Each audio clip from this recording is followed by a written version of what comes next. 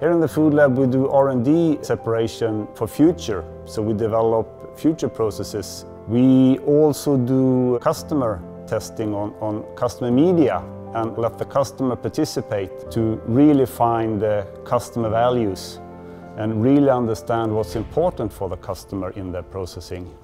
This is also a demo lab uh, for customer that, that, hasn't seen a centrifuge or the Alfa Laval uh, food portfolio.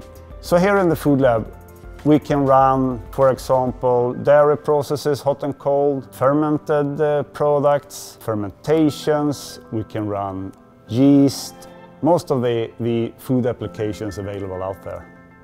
The Alfa Laval team running this facility has a lot of centrifuge expertise, but we also have a quite big toolbox for analysis on customer samples. We try to speak the same language as the customer when it comes to analysis. If you have any questions or challenges in separation, by reaching out to your local sales representative, they can contact us in R&D and we can start a dialogue for possible uh, testing in here.